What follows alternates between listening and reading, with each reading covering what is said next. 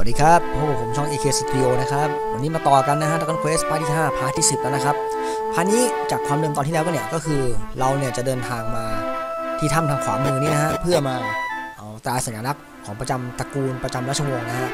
ของแกรนวาเนีย เพื่อที่ว่าเราจะได้กลายเป็น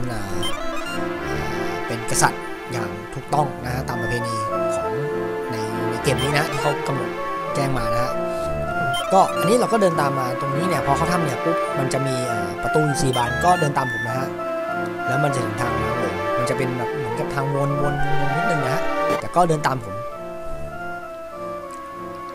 นะครับอ่าช่วงนี้เนี่ยจะมี monster แถวๆนี้นะฮะสามารถเก็บ monster ที่น่าสนใจจะมี Orc King นะฮะ Orc King เนี่ยข้อดีเลยคือมันมีคาถาชุบชีวิต แนะนำว่าถ้าเป็นไปได้เนี่ยคือให้เราเก็บ ตัว Orc King มาให้ได้นะครับ เอามาเป็นพวก Orc King จะเป็น monster ที่อยู่ในระดับกลางค่อนข้างแข็งแกร่งประมาณหนึ่งนะฮะ แล้วก็มันจะข้อดีที่ผมบอกเมื่อกี้คือมันมีคาถาชุบชีวิต แล้วก็มันสามารถใส่ item ได้หลายอย่าง คือ item พวกชุดเกราะพวกอะไรต่างๆ มันใกล้เคียงกับตัวตัวพวกคนนะนะเพราะฉะนั้น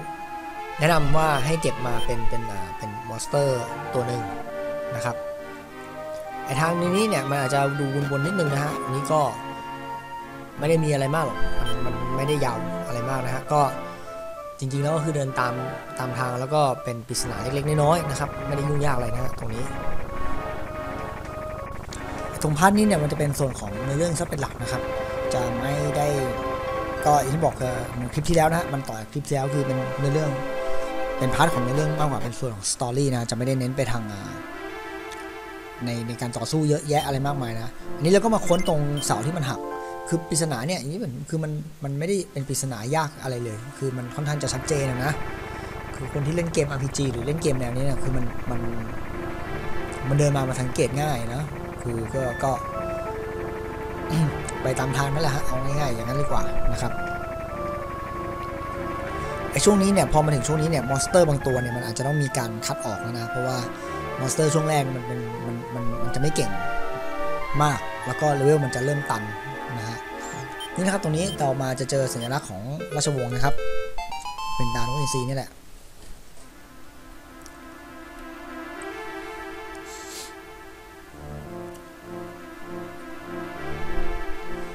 ระหว่างที่เราเดินกลับเนี่ยจะมีเหมือนพวกโจรเนี่ยนะมาแล้วก็ให้เรา มันจะบอกว่ามีคนจ้างมันมาเนี่ยมาให้เราเป็นพระราชา เพื่อไม่ให้ต้องการให้เราเป็นพระราชา คือถ้าเรานำกลับไปเนี่ยเราก็จะได้กลายเป็น king นะและนี่ก็เหมือนกับมาบุกมายึดไอเอบุกมามาปล้นนั่นแหละว่าง่ายๆนั่นนะบุกมาปล้นเอตราสัญลักษณ์เนี่ย monster ตัวนี้จะมี 2 ตัวตัวหนึ่งเป็นเหมือนตัวคล้ายๆออกไปทางโจมตีตัวหนึ่งออกไปทางป้องกัน ตอนที่เราผมเล่นผมก็อัดตัวที่ ไปทางโจมตีก่อน เพราะว่าไอตัวป้องกันเนี่ยมันทำอะไรมากไม่ได้หรอกมันมันมันก็มีแค่มาป้องกันเพราะฉะนั้นอ่ากระหน่ำใส่ตัวตัวโจมตีก่อน ตัวโล่เนี่ยเราค่อยฆ่าทีหลังก็ได้ วิธีสู้มันมันไม่ได้ยากมาก คือ อันนี้ผมพูดถึงเวลาเล่นปกตินะ คืออันเนี้ยมันเลเวล99 มันสู้ใครก็ได้นะอยู่แล้วนะฮะ แต่ว่า ตอนที่เล่นปกติเนี่ยก็คือก็แค่ใช้แบบพวก เป็นมนต์ลดพลังป้องกันอะไรประมาณนี้เนาะแล้วก็เพิ่มพลังป้องกันฝั่งเราอะไรเงี้ยมันไม่ได้ยากพวกนี้มันไม่ได้เก่งแข็งแกร่งอะไรเยอะนะแต่เรื่องอาจจะหนานิดนึงเท่านั้นเองอะพอเราได้มาเสร็จปุ๊บเราก็เดินทางกลับไปนะฮะไปที่แกรนวาเนียเหมือนเดิมนะครับ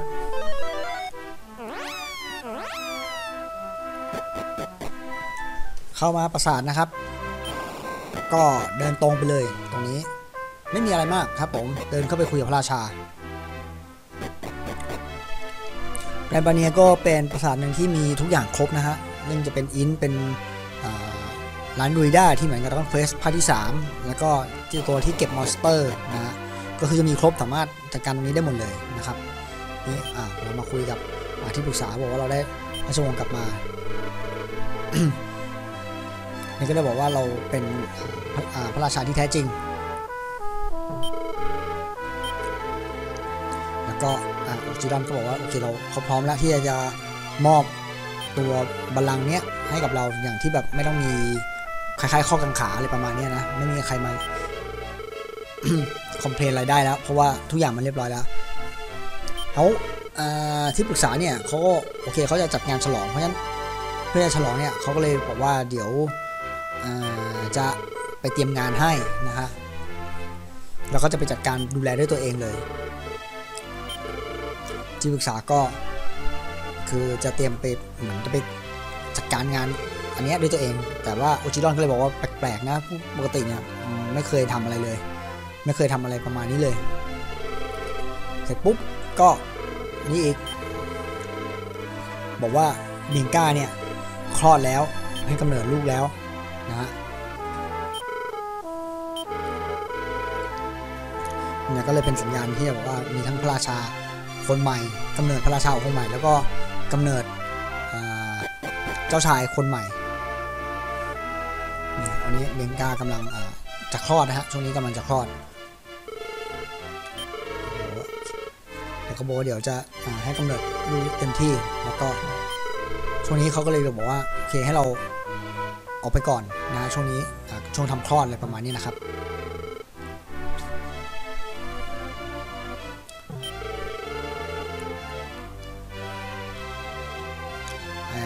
นี้ยคนนี้ก็คือ 3 คนนี้ผู้หญิง3คนนี้ก็คือเหมือนกับมาช่วยกันทำคลอดเนี่ยเขาบอกว่าเคยแล้วก็บอกให้เราลงไปข้างล่าง ให้เราไปรอข้างล่างตรงนี้ พอเข้ามาถึงตรงนี้เนี่ยทำนองมันจะเงียบ แล้วก็ฉากเนี้ยมันจะนึกถึงตอนตอนเริ่มต้นของเกมที่เป็นตัวปาปัสเนี่ยเดินวนไปวนมา เดินแบบเหมือนเดินกังวลอะไรประมาณนั้นนะก็คือช่วงที่เราคลอดใหม่ๆนั่นแหละก็คือเป็นฉากเดียวกัน คือเดินแล้วก็กังวลว่าช่วงลูกชายเราก็คือตัวเราเองตัวเราเองเนี่ยแหละ กำลังจะคลอดนั่นแหละครับ มันจะเป็นซีนคล้ายๆกันนะครับทุกนี้ก็ตรงนี้ก็คือเราก็คุยคุยกับคนแถวๆนี้แหละเราก็จะบอกว่าเออไม่ต้องกังวลนะเดี๋ยวว่าทุกอย่างเลยผ่านไปผ่านไปได้ได้ดี อะไรอย่างนี้นะครับนะครับตอนนี้ก็คุยกับทุกคนนะฮะไม่มีอะไรมากคุยคุยคุยให้หมดนะครับ แล้วก็ตรงนี้จะมี คนที่ทำคลอดเนี่ยเขาก็จะมาแจ้งเราว่าภรรยาเราคลอดเรียบร้อยแล้วผ่านไปได้ได,ดีนะครับ แล้วก็ congratulation กันนะครับเดี๋ยวก็ให้เรารีบวิ่งขึ้นไปดูอาการนะครับ ตรงนี้ เนี่ยฮะตรงนี้ จะมีเด็กผู้ชายแล้วก็เด็กผู้หญิงก็คือเราเนี่ยจะได้ลูกแฝดนะครับ เป็นแฝดชายแล้วก็แฝดหญิงนะครับแฝดชายคนหนึ่งแล้วก็หญิงคนหนึ่งนะครับ ก็มาคุยกันแล้วก็เหมือนกับว่าจะตั้งชื่อกันว่าอะไรดีนะครับ ตรงนี้เราจะชื่ออตั้งชื่ออะไรก็ได้นะครับ แล้วแต่แล้วแต่เราเลย มันไม่ได้มีอะไรเป็นพิเศษนะครับ ตรงนี้ ตรงนี้เนี่ยจะมีเกร็ดนิดนึงฮะผมพูดนิดนึงครับตรงตรงที่คนที่ดูใน Netflix นะครับอ่า Dragon Quest Your Story เนี่ยคือจะมีจะมีแต่ลูกชาย มันได้เป็นส่วนหนึ่งที่ทำให้คนที่เล่นเกมเกมนี้เนี่ยเขาจะ ไม่ชอบ เพราะว่านึกออกไหมคืออะไรอารมณ์อะไรไงเราเล่นเกมอะแล้วคือมันไม่เหมือนกับในเกมอะมันทำให้คนเขารู้สึกว่าแบบเนื้อเรื่องมันผิดผิดเพี้ยนไปอะไรอย่างเงี้ยเขาก็เลยแบบไม่ค่อยชอบกันเท่าไหร่ในอันนี้พูดถึงนะพูดถึงว่าแบบในฟิลมมองของของนักเล่นเกมอะแล้วมาทำเป็นหนังอะทำไมมันไม่ทำให้เหมือนเพิ่มอีกตัวละครหนึ่งเองอะไรอย่างเงี้ย นนี้ก็เลยเป็นสิ่งที่แบบเออทำให้คะแนนของในเรื่อง Don't Quest Your Story เนี่ยมันหายไปส่วนหนึ่งนะครับจะตั้งชื่อเนี่ยจะตั้งอะไรก็ได้นะครับ ทั้งผู้ชายทั้งผู้หญิงนะครับ อันนี้ผมตั้งชื่อว่าเทนกับโซล่านะฮะผมเอามาจากหนังสือการ์ตูนถ้าผมจำชื่อไม่ผิดนะฮะหนังสือการ์ตูนนะเควสภาคที่5มันจะมีอยู่เป็นช่วงสั้นๆ ไม่ยาวมากนะครับ ตรงนั้นเป็นการผจญภัยของ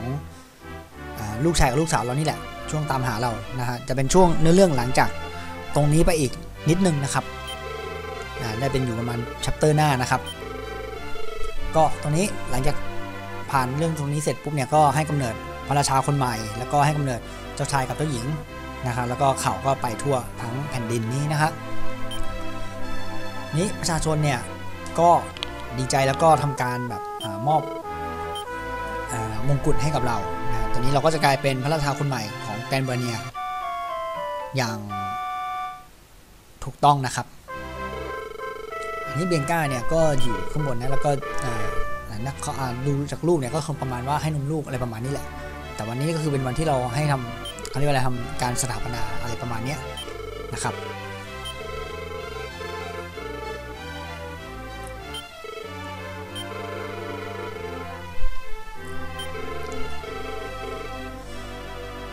นี้เราก็เดินลงไปข้างล่างนะครับ เนี่ยเราจะกลายเป็นหลอดหลอดแล้วนะฮะ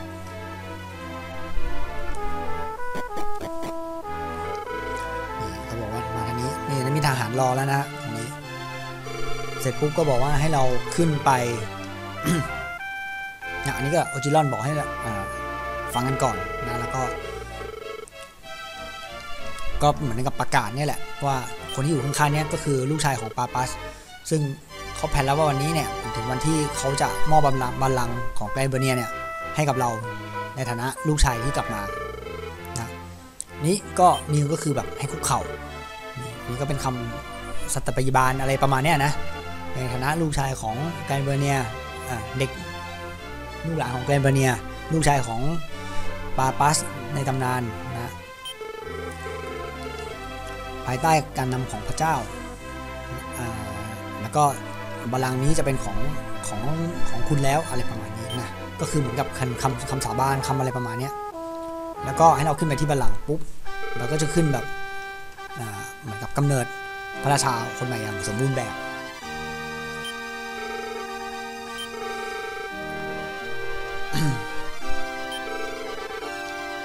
เรากลายเป็นคิงละคิงตอนนี้เราเป็นพระราชาเรียบร้อยแล้วนะครับ ตรงนี้ แต่มันอาจะ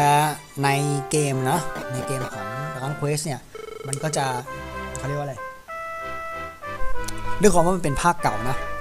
คือลองนึกภาพดิชุดชุดของเราเนี่ยมันไม่ใช่พระราชาเลย มันคือชุดแบบนักผจญภัยอะนี่มันคือมันมันไม่ได้แต่งเขาเรียกว่าอะไร มันไม่ได้เปลี่ยน character ในเกมตรงนี้ให้ ดูชุดเรามันไม่ใช่ชุดราชาแน่นอน มันคือชุดแบบอย่างเหมือนยาจกดีๆเลยฮะ นึกออกใช่ไหมชุดเนี้ยเป็นสภาพตอนที่เราออกจากคุกอะ่ะมันคือชุดเนี้ยชุดออกเอเอที่สถานกักกันทาสอะมันคือชุดนี้เลย แล้วมาตอนนี้เป็นพระราชา มันยังให้ใส่ชุดนี้เหมือนเดิม มันก็จะดูขัดๆนิดนึงอะไรประมาณนี้นะ แต่ก็ไม่เป็นไรนี่คือมันเป็นเกมเก่า เสร็จแล้วพอตอนกลางคืนเนี่ยมันมันจะบอกว่ามันระยะที่การเฉลิมฉลองมันผ่านไปอย่างรวดเร็วผ่านไปนะ ก็มันมีอะไรบางอย่างที่แปลกๆผิดปกติ คือทุกคนมันหลับหมดเลย ทุกคนหลับ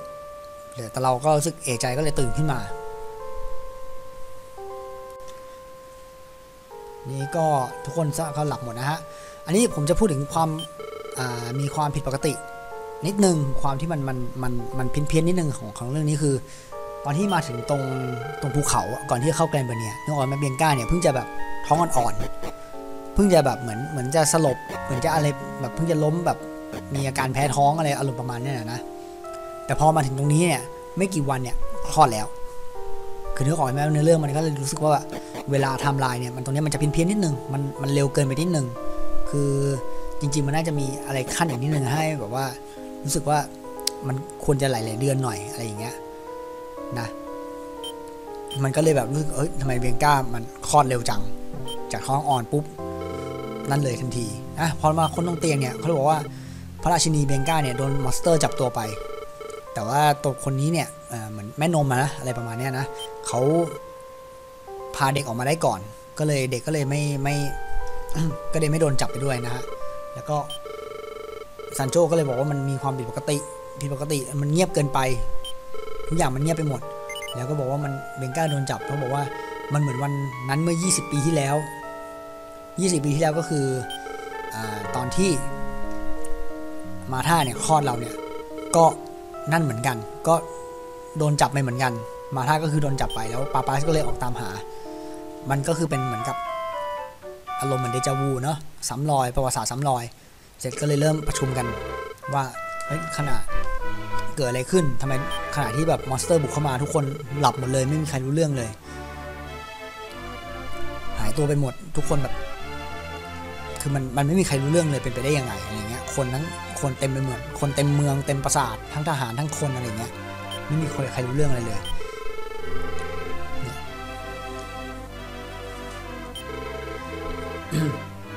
ก็เลยบอกว่าถ้าใครบางคนเนี่ยมันมันวางยาวไว้ในในวายก็เลยแบบเฮ้ยมีความเป็นไปได้นะ แล้วก็พูดถึงที่ปรึกษาที่ปรึกษามันหายไปไหน มันมันหายไปตั้งแต่ตอนไหนอะไรเงี้ย เขาปกติเขาบอกว่าถ้ามีอะไรเกิดขึ้นด่วนๆเนี่ยเขาจะปรึกษาที่ปรึกษาแต่ว่าที่ปรึกษามันนั้นหายไปไหนเกิดอะไรขึ้นอะไรเงี้ยโอจิรอนก็เลยเพิ่งจะคิดได้ว่าเอ้ยรู้สึกมันรู้สึกไม่ดีแล้วเกี่ยวกับไอ้ที่ปรึกษาเนี่ยยังไงก็ตามก็ต้องแบบาหาทางไปช่วยพระราชินีนะ ช่วยกันตามหาพระราชินีให้ได้ อันนี้คือเบงก้ามันกลายเป็นราชินีของที่นี่เรียบร้อยแล้วนะฮะตรงนี้ พูดง่ายๆก็คือตัวที่ปรึกษาเนี่ยมันหายไปตอนไหน ก็คือตอนที่มันบอกว่ามันจะไปเตรียมงานเฉลิมฉลอง พูดชัดๆเลยก็คือมันเป็นคนวางยา ให้คนทั้งเมืองเนี่ยสลบแล้วก็เอายาเนี่ยเหมือนเอาอารมณ์เหมือนยานอนหลับเนี่ยไปใส่ในวน์นะไอห้องขวาบนเนี่ยคือห้องของที่ปรึกษานะฮะให้เราเข้ามาแล้วไปนั้นไปค้นลิ้นชักนะจะได้ flying shoe เป็นเป็นเหมือนกับรองเท้าบินไอรองเท้าบินได้เนี่ยมันมันคล้ายๆกับ Dragon Quest ภาคที่ 4 ไอในเรื่องของไรอันนะฮะในเรื่องแรกเนี่ยที่กดใช้ปุ๊บแล้วมันก็จะบิน โอเค เดี๋ยวเจอกันต่อในพาร์ทถัดไปนะครับผมนะครับสวัสดีครับ